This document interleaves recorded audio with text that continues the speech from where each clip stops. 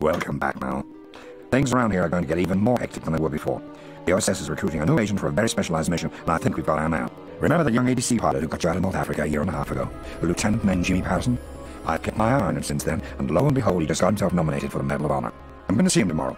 If he decides to accept our offer, I want to make you his boss. My gut tells me the two of you will make a good team. Not all the details of his mission have been worked out yet, but I do know that it's got something to do with the Nazis' Vengeance Weapons program, which brings us to the subject of your next assignment, the V-1 buzz bomb. We've received mixed intelligence over the past two years about their efforts to build a long-range, self-guiding flying bomb, so we weren't sure they'd ever be able to manufacture these weapons in mass quantities. Unfortunately, as we discovered this past week, they have. One of these V1s, powered by its pulse jet engine, can travel from its launch site in the French countryside to the heart of London in about 15 minutes. Some Spitfires on patrol have been able to knock down a few in mid-air, but for the most part, they get through to the city without any trouble. A few of these things have hit near my office at Whitehall, and I can tell you firsthand that it's not a pleasant experience.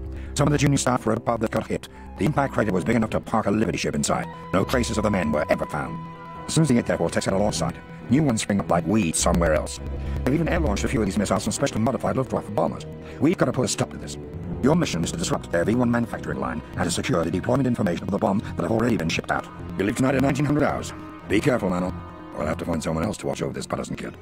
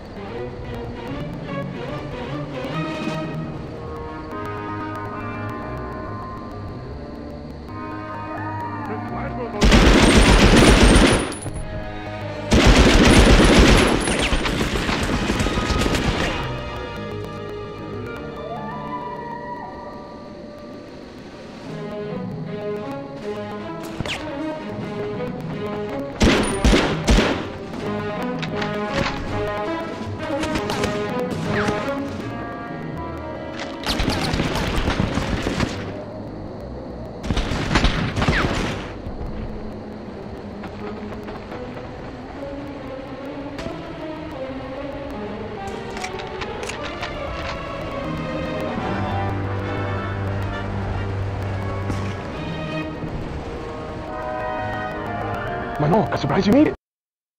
Here are the plans for the factory. Let's go. It's not safe here.